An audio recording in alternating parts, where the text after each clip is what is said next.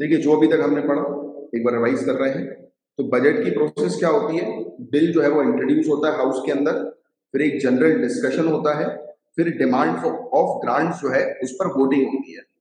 यानी कि अनुदान की मांग जो होती है, उस पर वोटिंग होती है। और ये डिमांड ऑफ़ ग्रांट जो होता है, वो सिर्फ़ लोकसभा में ही आएगा। यानी कि ये डिमांड उठेगी सिर्फ़ और सिर्फ़ लोकसभा में। उसके बाद हमें देखने को मिलता है कि अप्रोप्रिएशन बिल जो है वो पास होता है। अब ये अप्रोप्रिएशन बिल में एक चीज़ याद रखना है कि कोई भी चेंजेस नहीं होंगे, कोई भी अमेंडमेंट नहीं होगा कोई भी चेंजेस नहीं होंगे, जितना पैसा जो है वो ऑलरेडी अप्रूव कर दिया गया है, वो पैसा बस यहाँ पर पास किया जाएगा निकालने के लिए और बिल्कुल मनी बिल की तरह ही ये पास होता है। उसके बाद रास्ता मिल जाता है क्लियर फाइनेंस बिल को, पैसा फर्दर निकालने के लिए।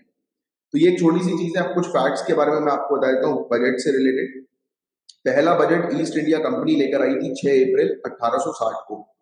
और इंडिपेंडेंट इंडिया इंडिया या फिर यूनियन बजट यानी कि जब हमारा देश आज़ाद हुआ था, उस समय पहली, पहला हमारा जो बजट आया था, वो 26 नवंबर 1947 को आया था और हमारे पहले फाइनेंस मिनिस्टर के द्वारा प्रस्तुत किया गया यानी कि पहले फाइनेंस मिनिस्टर जिन्होंने बजट प्रस्तुत किया, उनका नाम था आर के शनमुखम चेट्टी फिर इसके अलावा सबसे ज़्यादा अभी तक बजट जो प्रस्तुत किए हैं वो मुरारजी देसाई ने किए हैं दस बजट, फिर पी चिदम्बरम जी ने किए हैं नौ बजट, फिर प्रणब मुखर्जी ने किए हैं आठ बजट, फिर यशवंत सिन्हा, यशवंत राव छावन और सीवी देशमुख जी ने किए हैं सात, और मनमोहन सिंह जी और टीटी कृष्णमाचारी जी ने छह बजट जो है वो प्रस्तुत किए हैं।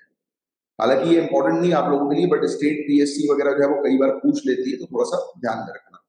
एक फैक्ट ये इंपॉर्टेंट है कि 1999 तक बजट जो होता होता था वो शाम में पाँच बजे आता था और इस प्रैक्टिस को हमने खत्म कर दिया था। ये बेसिकली अंग्रेज़ों की जो है वो एक प्रथा थी बजट को शाम में प्रस्तुत करने की। फिर अरुण जेटली साहब जी ने क्या किया? यूनियन बजट को एक फरवरी से प्रस्तुत करना शुरू किया। यानी कि ये कहा अरुण जेटली जी ने कि अब से बजट जो है वो एक फरवरी से प्रस्तुत होगा और ये प्रथा 2017 से शुरू हुई और 2017 में ही रेल बजट और यूनियन बजट को जो है वो मर्ज कर दिया गया था। तो ये फैक्ट थोड़े से इंपॉर्टेंट है जो आपको ध्यान में रखना है। Clear clear with everyone